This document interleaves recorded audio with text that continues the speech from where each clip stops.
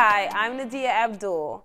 The differences between B12 and B100 is that B100 is a B complex, where B12 is just B12. B50 and B100 are new products on the market that you might see quite often when you're shopping for vitamins. B50 will give you 50 milligrams of both vitamins B1 and B2 in addition to all of your other B vitamins.